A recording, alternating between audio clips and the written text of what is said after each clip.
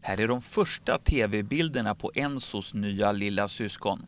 Den välskapta gorillababyn föddes tidigt i tisdags morse på Kolmårdens djurpark och väger strax över två kilo. Könet på nytillskottet är ännu inte fastställt och nu får Expressens läsare chansen att döpa krabaten. Ett pojk och ett flicknamn ska ni hitta på och i vinstpotten finns en spahelg. Information om tävlingen hittas på sajten och förslagen mejlas till gorilla.expressen.se.